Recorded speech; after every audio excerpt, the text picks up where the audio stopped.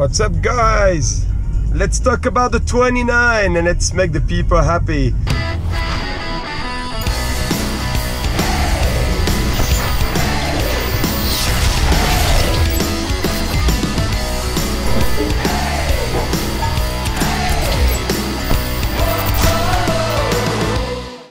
You know, it's a lot of talk about 29ers and na na na blah blah blah.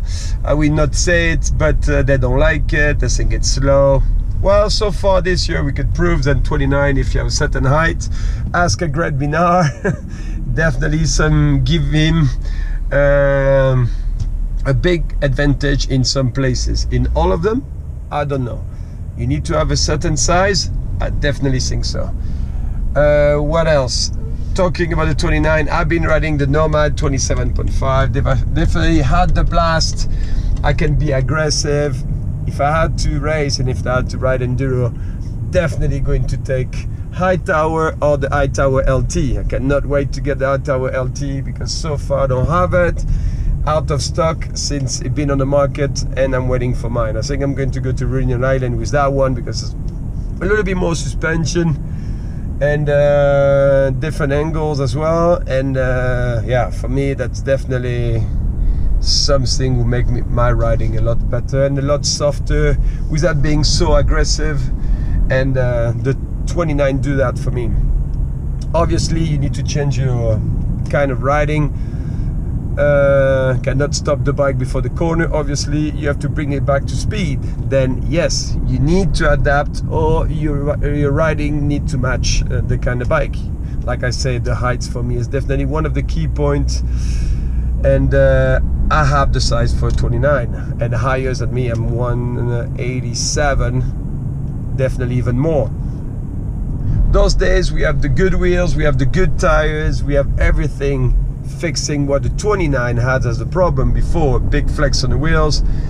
Tire was not ready. Sidewalls of the tire was skinny easy flat tire. I mean no one was actually trusting it. Same for when you don't have any boost on the wheels. The wheels were super soft and yeah everything is fixed now. And let me tell you when you ride one of those bikes and you see how fast you go to the sudden but without really feeling but when you see the time or man you're like for me it's almost like mechanical doping. But definitely something I cannot wait to have the Santa Cruz LT I'm going to I mean I've been riding for with the Nomad for three months now. And uh, yeah it's going to be super cool to come back on the 29 and um, yeah I will start to train on it uh, in the next couple weeks. To be ready for Reunion Island at the end of November beginning of December and I cannot wait. I will show you anyway. When I receive the bike because we probably have to build it and pimp it up with rad stickers on. And uh, yep. If you have any question on all those I'm ready to answer. But uh, I wanted to talk about those 29 because in the beginning if you talk about 29 and you say that 29 is good and faster people will actually slice you down but hey we prove that 29 are fast. We bring in the downhill.